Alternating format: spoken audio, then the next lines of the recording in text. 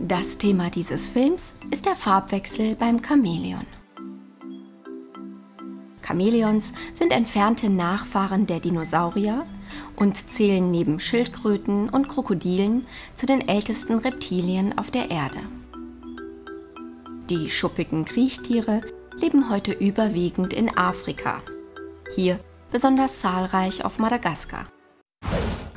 Ab hier sehen Sie den Film im Schnelldurchlauf. Im Original haben die neu und hochwertig produzierten Schulfilme eine Länge von drei bis zehn Minuten. Die wichtigsten Aspekte jedes Themas werden speziell für den Einsatz im modernen Schulunterricht anschaulich aufbereitet. Die Inhalte entsprechen den Vorgaben der aktuellen deutschen Lehrpläne